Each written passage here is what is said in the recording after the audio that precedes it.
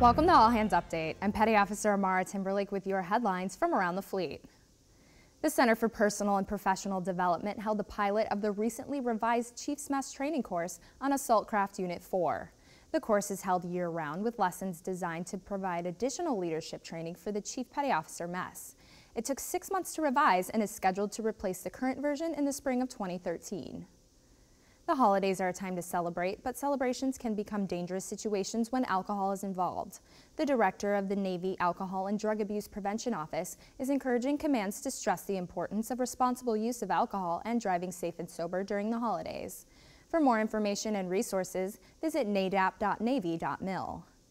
You can read more about these stories at navy.mil. From All Hands Update, thanks for watching.